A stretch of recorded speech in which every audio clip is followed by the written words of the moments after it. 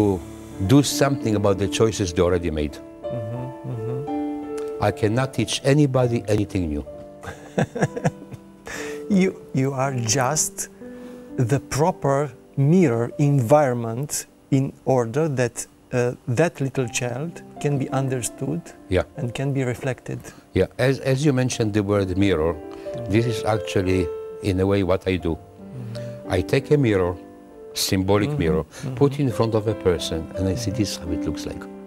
Mm-hmm. Because I'm not here to make you feel happy and to tell you lies Yes. and to tell you, you know, that now you're going to close your eyes and feel this euphoria of white light coming from the sky and all this esoteric stuff. I'm putting him in front of you and say, this is how it looks like. Do you like it? No. Mm-hmm. What would you like to do about it? I don't know. You don't know? Okay, let's invite you from the future that knows.